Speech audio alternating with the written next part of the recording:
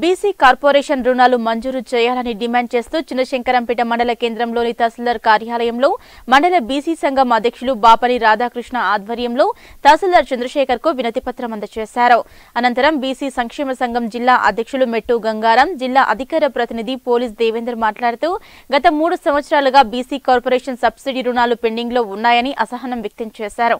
ఈ కార్యక్రమంలో జిల్లా యువజన విభాగం అధ్యక్షులు మానేకల్లా వెంకట్ జిల్లా ఉపాధ్యక్షులు కోనాపురం వెంకటి తదితరులు పాల్గొన్నారు. ఎలక్షన్ టైంలో బీసీలు ఓట్లు వేయించుకొని బీసీ రుణాల కోసం మేము మీ చుట్టూ తిరగాల్సి వస్తుంది మేడం.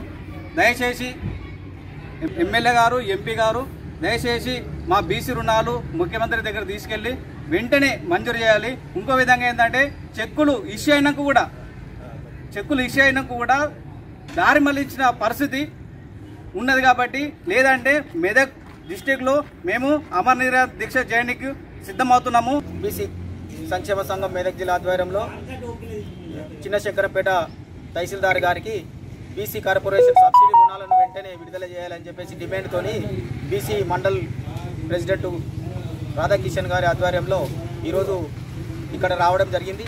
మరి ఈ బీసీ కార్పొరేషన్ నిధులను గత మూడు సంవత్సరాల నుండి కూడా బీసీ లబ్ధిదారులను చాలా అవమానం చేస్తూ కాబట్టి ఈ రుణాలను వెంటనే విడుదల చేయాలని చెప్పి మెదక్ జిల్లాలో అందరూ తహసీల్దారులకు అన్ని మండల కేంద్రాల తహసీల్దారులకు వినతి పత్రాలు ఇస్తున్నాము. బీసీ కార్పొరేషన్ నిధులను వెంటనే విడుదల చేయకపోతే ఈ ప్రభుత్వంపై విరుచుకుపడతామని చెప్పేసి సందర్భంగా డిమాండ్ చేస్తున్నాము.